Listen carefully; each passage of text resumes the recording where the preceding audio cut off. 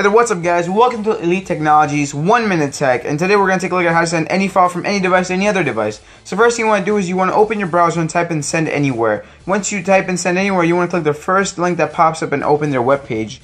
After that you want to hit add file and you want to choose the file that you want to send. Now I do recommend downloading the app since it does allow you to send larger files.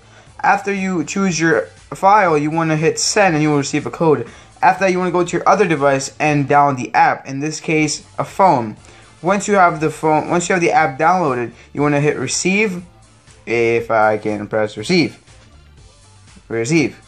Okay, so once you press receive, you want to type in the code that you received on the last page, and you just want to hit the big blue button, and that should be it. And the app should do the rest of the work, and you should receive your file on the other device.